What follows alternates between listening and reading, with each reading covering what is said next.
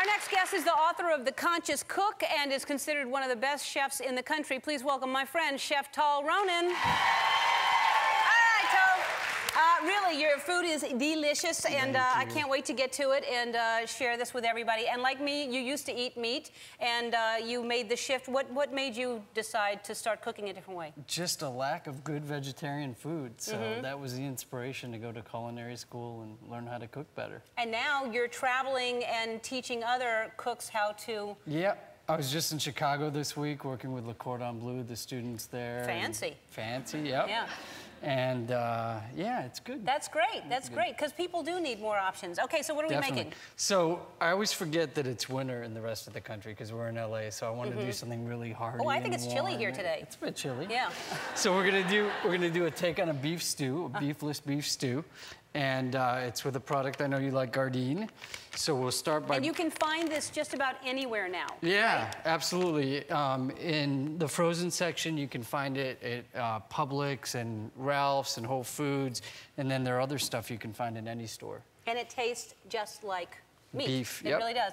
And the one tastes just like chicken and same consistency. Same consistency. And you can't undercook it over because it's kind of cooked already, It's right? a little bit right? cooked, yeah. You yep. just got to sear it. Okay. So I heard you're really great with your knife skills. Am I? Yeah.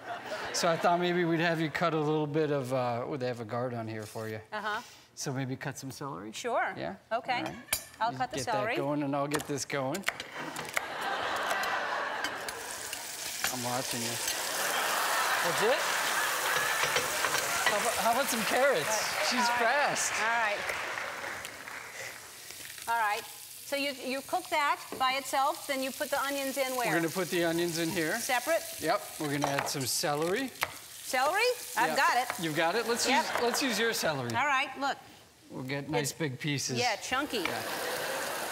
Some Hearty. salt, some pepper.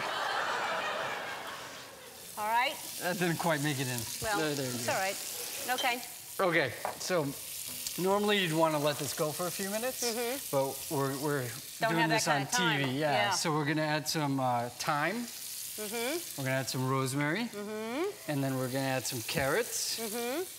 And we'll use these guys. Okay. That's okay. Give that a stir. And then we're going to add a little flour. That's going to thicken this up. And I heard to keep the wine away from you from Roberto. I don't know if I should, but whoa. No, I've got to go do idol after this, so I shouldn't drink. So we've got some stock going in there.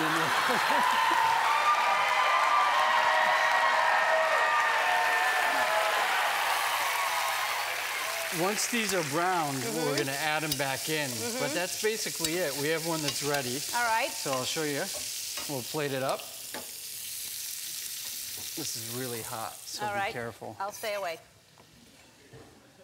And this is what it looks Look like. Look at that, how beautiful. camera on that. Yeah. Get some in the bowl.